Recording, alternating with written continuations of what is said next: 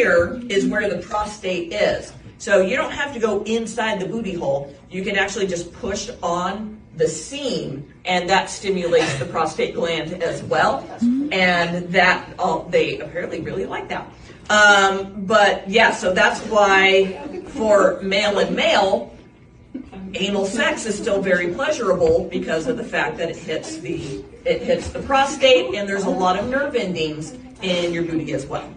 So the girls, the G spot, prostate, they're the equivalent to each other, but apparently that's why if you ever see like I mean, Target has them now. Sex toys.